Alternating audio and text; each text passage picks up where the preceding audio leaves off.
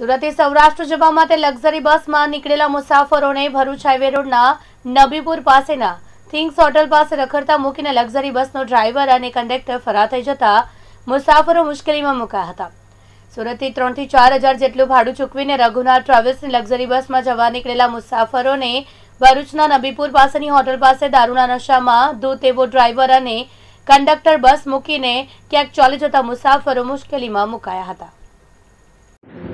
मैं साइन में रहता हूँ कड़ोदरा से बस पकड़ा था। और पैसा मेरा पैंतीस रुपये छत्तीस रुपये लिए थे। और दो आदमी था। टिकट भी नहीं दिए बोले कि आगे चल के दूँगा। और नहीं दिए फिर से होटल पे लाके छोड़ दिए हैं। सर इतने परेशान हूँ हम लोग। पैसा भी नहीं सर। कैसे कैसे जाऊँगा फिर दोबारा? मैं अशोक कुमार किम चुपड़ी से टिकट कटाया। पंद्रह सौ का एक टिकट है। और इधर लाके प्रिंस होटल के सामने लाके छोड़ दिया है। नौ बजे रात को। कंडक्टर, ड्राइवर भी दोनों भाग गए हैं। इधर रात से हम लोग दो पड़े हुए हैं। सारे 140 पैसेंजर हैं।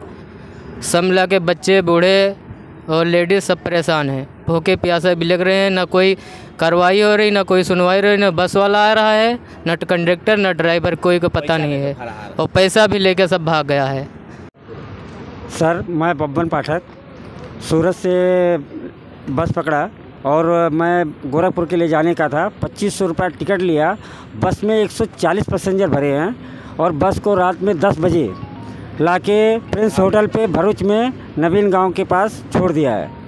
और बस वाला भग गया है और ड्राइवर रात में दारू पी के सोया हुआ था। और गाड़ी आगे नहीं लेके जा रहा है। हम लोग रात से ही भूखे प्यासे यहाँ पड़े हुए हैं। बीबी बच्चे छोटे छोटे बच्चे हैं जो भूखे भूखे बिलख रहे हैं। और ये मजबूरी में हमको मीडिया को बुलाना पड़ा और मजबूरी में पुलिस स्टेशन में जाना पड़ा, लेकिन पुलिस स्टेशन भी उतना कामगिर काम नहीं कर रही है, तब मेरे को मजबूरी में मीडिया को फ़ोन करना पड़ा। है